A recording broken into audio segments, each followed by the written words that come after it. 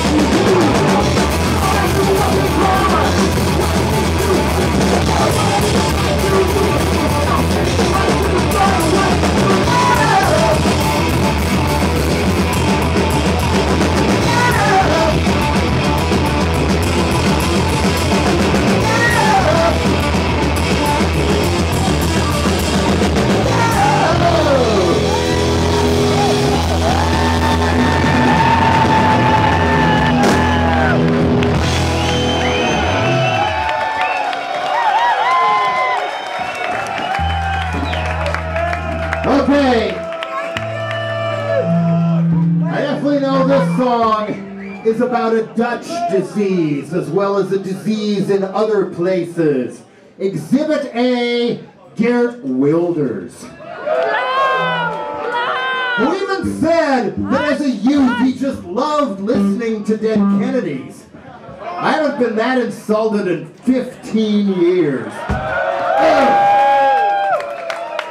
Although he was citing it as an example of how foolish he was before he became not just born again anti-immigration, but what are these anti-immigration people really? They are fucking racists. That's what they are, is fucking racists.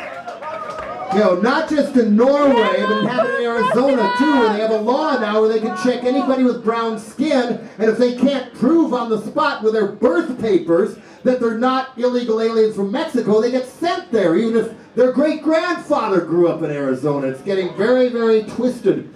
How do these people get so much power in the first place?